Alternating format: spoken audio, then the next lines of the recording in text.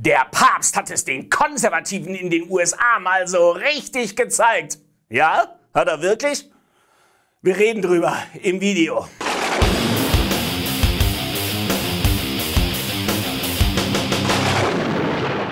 Der Papst hat in den letzten Tagen eine ganze Rutsche Kardinäle ernannt, darunter den Bischof von San Diego. Das wird von Papstkennern allenthalben als kräftige Ohrfeige für die konservativen katholischen Kräfte in den USA gewertet. Warum? Weil der Bischof von San Diego dafür ist, dass Nancy Pelosi zur Kommunion gehen sollte.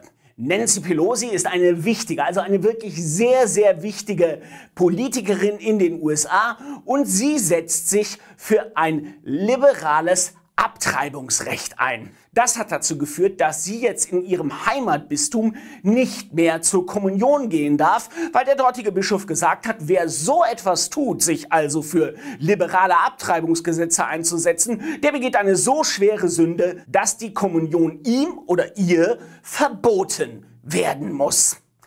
Dazu ein kleiner Einwurf. Wenn mir das passieren würde, also dass ich nicht mehr zur Kommunion gehen dürfte, das wäre eine absolute Katastrophe für mich.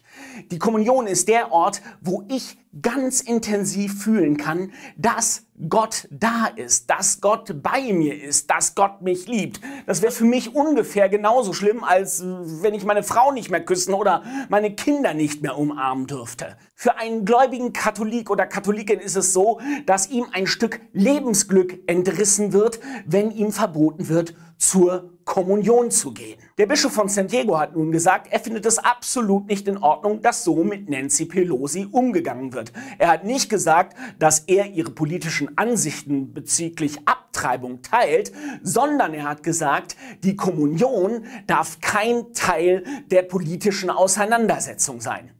Versteht mich nicht falsch, ich bin sehr dafür, wenn die Kirche in der Politik, in der Gesellschaft ihre Stimme erhebt und für ihre Inhalte kämpft. Aber ich finde, es muss Grenzen geben. Leute versuchen unter Druck zu setzen, indem man ihnen die Sakramente vorenthält, finde ich absolut unmöglich. Und ich denke, es ist auch ein Missbrauch dieser Sakramente. Die Sakramente sind dazu da, Liebe zu verbreiten, die Gegenwart Gottes spüren zu lassen und nicht um jemand politisch auf die Linie zu bringen, die man gerne hätte.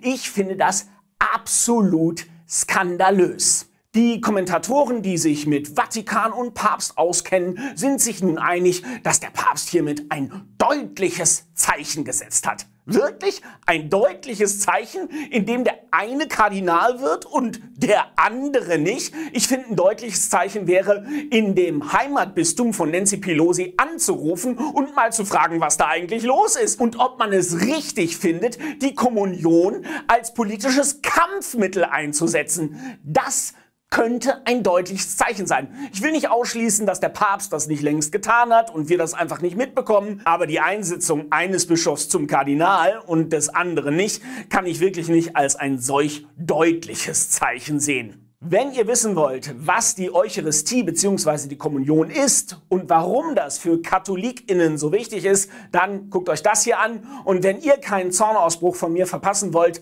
dann abonniert den Kanal und aktiviert die Glocke.